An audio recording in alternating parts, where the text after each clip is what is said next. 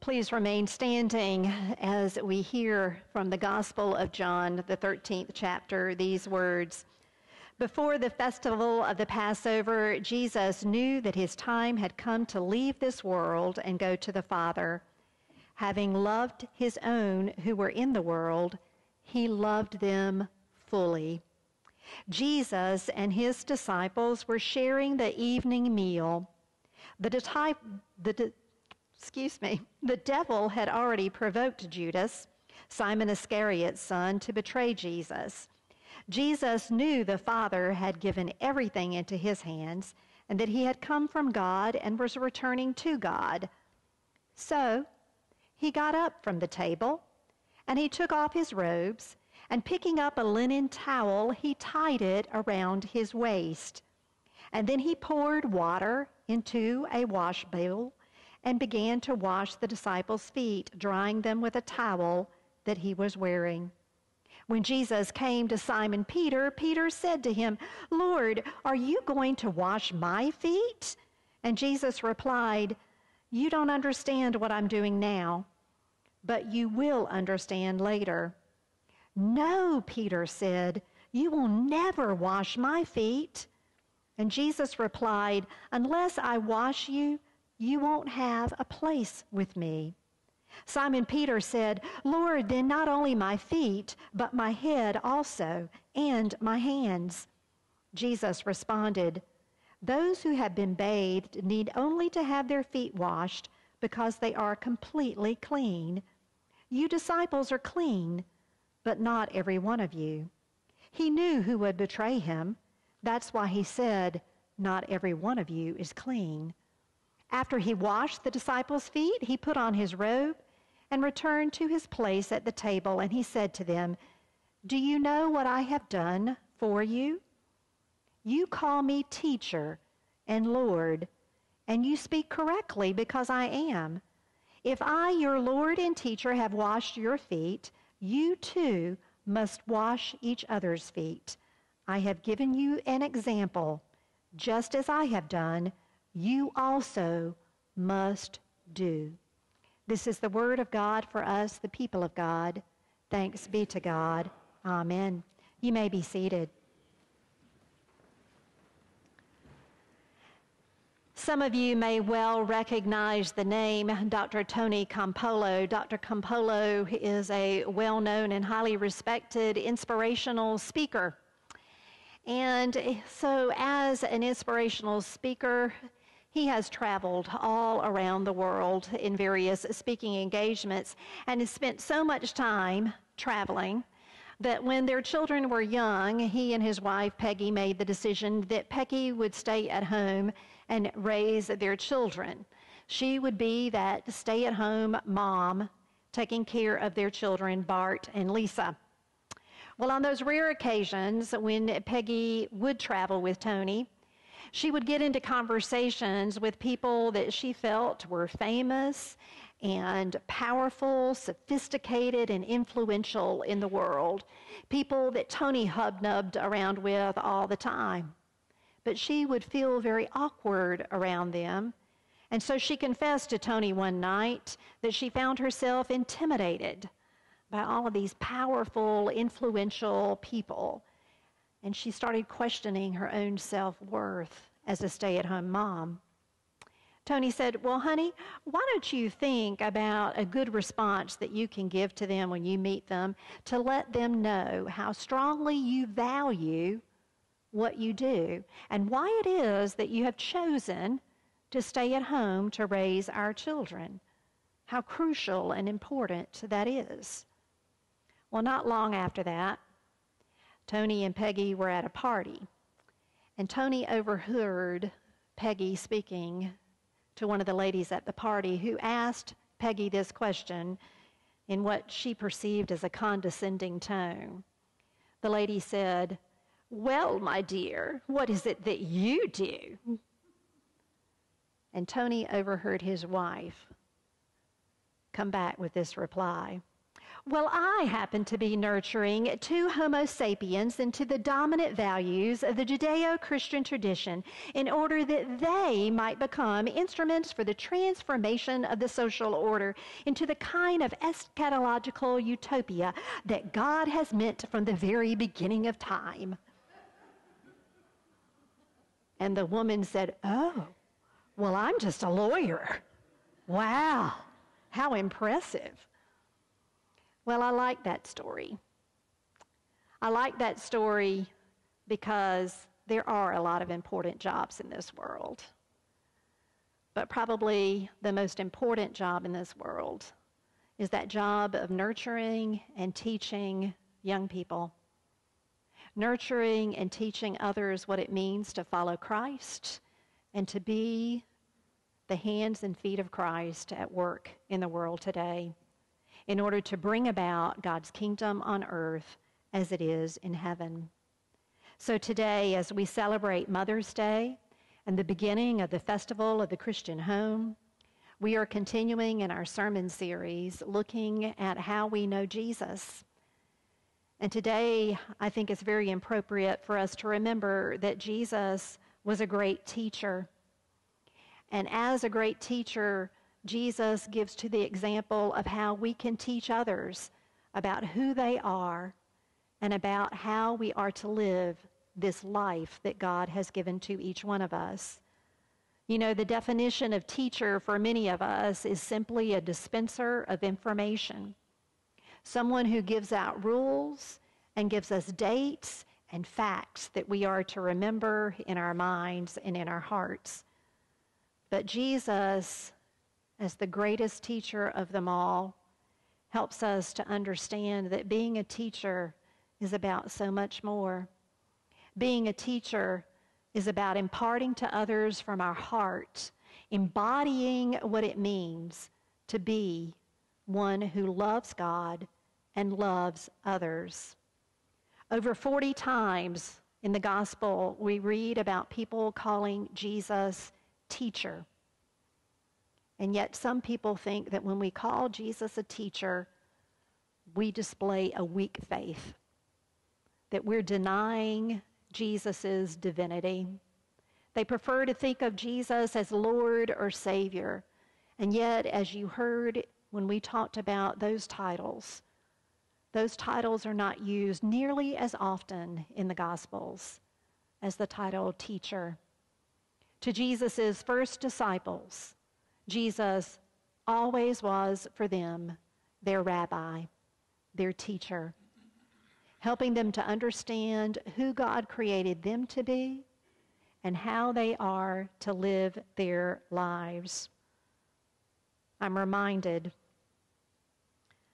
of what Gandhi said so many years ago. Gandhi said if the followers of Jesus would follow the teachings of that great teacher, what a different world we would live in. My friends, I want to ask each one of us today to take time to reflect on the teachings of Jesus and to ask ourselves what teachings of Jesus do we need to recommit ourselves to so that we might help to make other disciples and transform the world into the place that God has called it to be. As I look at Jesus' life as a teacher, I see that far from merely dispensing information to the disciples, Jesus taught them by example, embodying what it means to love others. Jesus noticed the unnoticed people around. Jesus didn't just talk about being a peacemaker, he established peace. He reached out to those who were the outcast, inviting Matthew, the tax collector, to be part of his inner circle, having lunch with Zacchaeus, the tax collector, reaching out to those with leprosy that others had pushed to the margins of life and didn't want to speak to. Jesus embodied a way of life. And in the scripture passage that we read today, Jesus knows that he is about to go to the cross. He knows that he is in the final hours of his life on earth. And he has these last few moments to impart to his disciples what are the most important things that he wants them to remember. It is interesting to me that what Jesus does as his lasting lesson to his disciples is he takes on the role of a servant. He humbles himself. He gets down on his knees and he washes their dirty, stinking feet. You heard in the scriptures that one of the disciples said, Oh, no, you're the teacher. You can't be in the role of a servant. But Jesus says, I'm giving you example of how you are to love one another. You are to love one another not just with your words, but with your deeds. You are to love one another by actively showing love, being willing to be humble and to serve one another. It's in that context that Jesus also shares that statement about being the way, the truth, and the life and he helps them to understand what that means by washing their feet. He's saying, the way of life that I'm about to follow, the way of dying on a cross out of love, is the way of life that I'm calling you to follow. A way of sacrificial love, a way of loving so much that you're willing to lay down your life for one another. As a teacher, Jesus understood that one of the clearest ways that we learn about God's love and what it means to love other people is by experiencing that love ourselves. And so he wanted to pour out that love upon the disciples that night, help them to feel his love for them so that they might share that love with others. So he says, Love one another as I have loved you. I stand before you today as one who is very grateful for the women in my life who have poured that kind of love into my life. And not just women. I told you last week, I am so grateful for this congregation, for the way you have poured out love on me, especially in these last few weeks pouring out our love into others, not just speaking love, does something to nurture us and strengthen us and help us to face the challenges of life. I say all of that, and I wanted to remind us of some of the ways that we pour out love into others in this world. One of the women in my life who poured out love to me and to others is a dear woman who now lives in heaven with Jesus. Her name is Mary Louise Mason. She only had one biological child. His name was Jimmy. And Jimmy was born with special needs. Mary Louise told me that when Jimmy was born and the doctors told us that Jimmy would always have difficulty learning,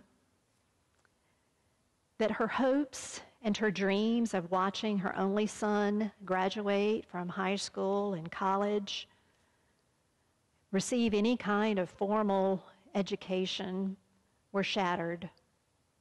It was difficult for her to think of her only son never marrying and never having children of his own. And she said it was difficult for her as a mother to teach Jimmy anything. So she said she decided she would just stay with the basics as she raised Jimmy in her home. She told me that she wanted to make sure he knew the most important things in life. No matter how difficult it was for him to learn, she wanted to make sure that he knew what was most important and anything that he could learn beyond the basics, she said, would be gravy. And the basics for Mary Louise included the following she wanted Jimmy to know God loves you. Love God and love your neighbor. Don't be like Bluto on Popeye. Y'all know who Bluto is, right? He was always picking a fight with somebody, a bully. Don't be a bully. Wear outside clothes if you go outside. Change your underwear every day. Brush your teeth after every meal. Share with others and take turns. Keep your hands to yourself. No smacking and no cussing. Pray the Lord's Prayer and say your prayers every night before you go to sleep. Sing Jesus Loves Me and sing Amazing Grace. And thank God for everything you have. And say a blessing before you eat. Did you notice how many of those basics, basics, We're concerned with her teaching Jimmy about God's presence in her life and God's love for her, God's love for him, God's love for all people? The most important lessons that any of us can share with children and with those around us are the lessons of faith. Because you see, God is not satisfied with just changing our final destination from earth to heaven. God wants to make sure that we know how to live in harmony and peace and love with one another here and now. God wants us to be turned into the closest thing to Jesus Christ that we can be on this side of heaven. Christ followers, disciples of Christ, those who look like Christ on this side of heaven. In teaching Jimmy the basics of life, Mary Louise says, because so much of what he learned was just by rote, just those words, remembering them, she wasn't sure how much he really understood. But she smiled whenever he sang, Jesus Loves Me. And she wondered, does he really understand what that song means? We allowed Jimmy to go through the confirmation process. I say aloud, We had the privilege of Jimmy going through the confirmation process in the church. And the way we did that was we took him into the sanctuary, and the stained glass windows at that church all had scenes from the biblical story of Jesus' life. And we asked Jimmy to tell us about the stories in each one of those window scenes to see if he knew the story of Jesus' life. Jimmy's father said, He knows the stories, but does he know really how loved he is by God and what all of that means? And then one day, Jim and Mary Louise got their answer. Jim took Jimmy to the dentist office, and when he came home, Jimmy greeted his mother and he said, I went to the dentist today. And Mary Louise said, I know. How did it go? And Jimmy replied, The dentist cleans your teeth. And Mary Louise said, Yes. And then Jimmy said, And you know what? God sits beside you in the dentist chair. She said, he spoke those words, so matter of fact, God sits beside you in the dentist chair. He understood that Jesus would never leave him or forsake him, that Jesus loved him and was always with him, no matter how scary life could be, whether it's in a dentist chair or facing any other difficulty in life. One of the clearest ways we learn that God loves us is by experiencing something of God's love through the love of others those who wash our feet, and those who share life with us, like mothers. In one of Reverend Charles Stanley's In Touch newsletters, he tells the following story of a mother's love that touched me so. He said a few years ago, a 12 year old boy named Michael was swimming in a small pond near his family's home in Florida. He was paddling along with a snorkel and a mask on, head under the water.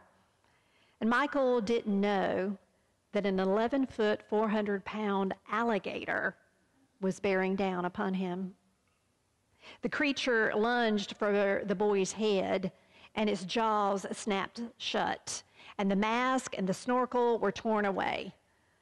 But miraculously, Michael's head came free from the gator's mouth, and he began to swim frantically toward the shore with that hungry alligator right behind him. The boy's cousin, Jill, was standing on the shoreline and she screamed, and that scream alarmed Michael's mother. She raced to the bank just as her son reached the shore, and then the gator clamped down on Michael's leg.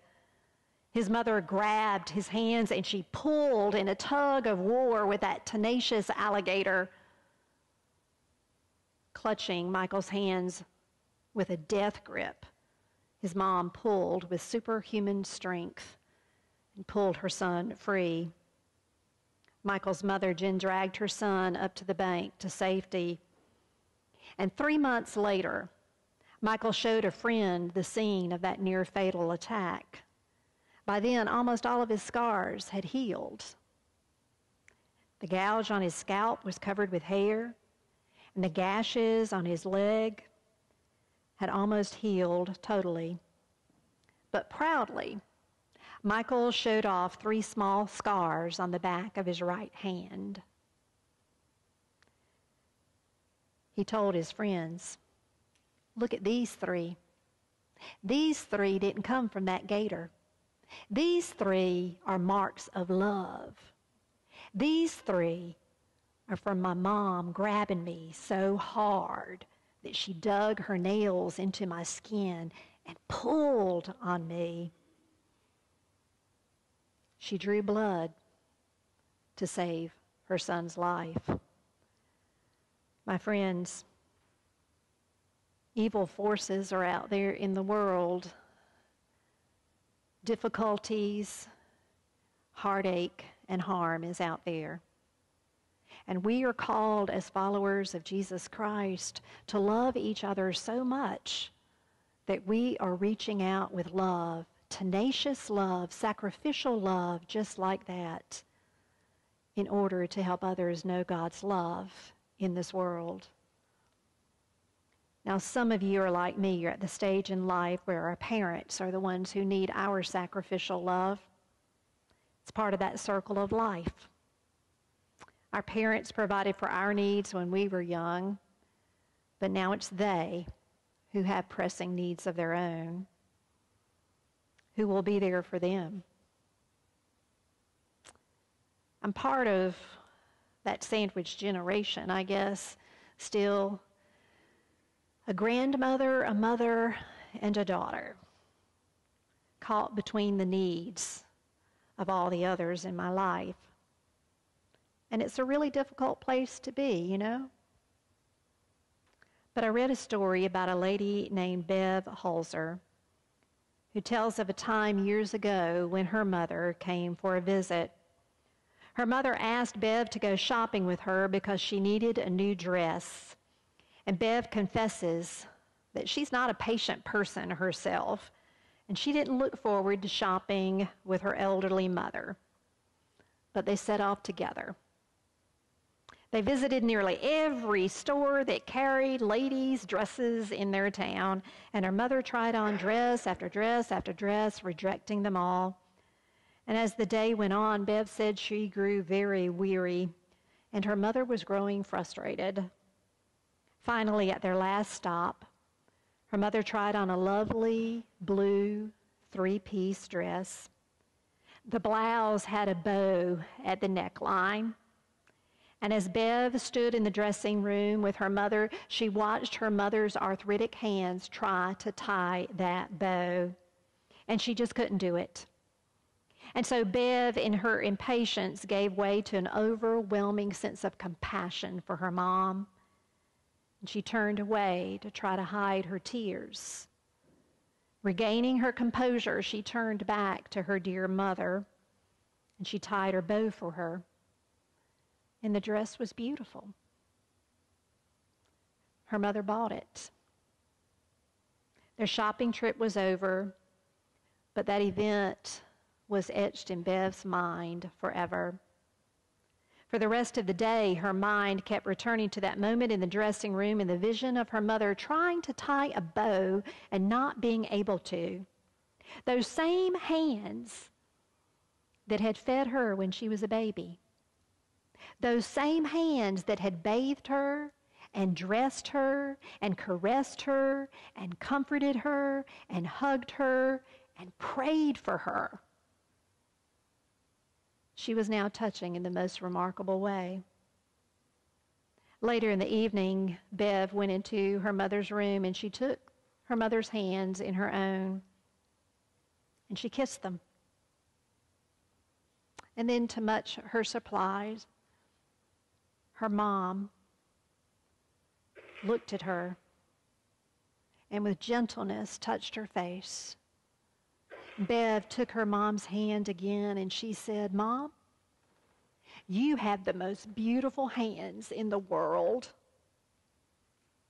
Bev says she's so grateful that God let her see with new eyes what a precious and priceless gift of a loving and self sacrificing mother she had.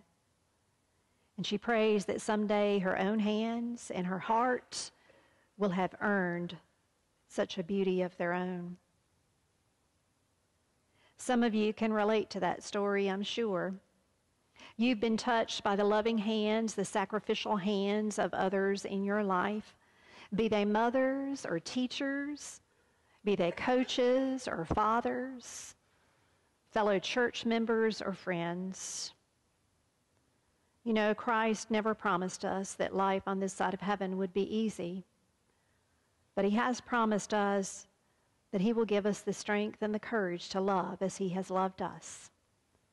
And so, as we give thanks for the women who have mothered us in this world, let us pray that we too might pass on the kind of love that Christ has for us. In the name of the Father, and the Son, and the Holy Spirit. Amen.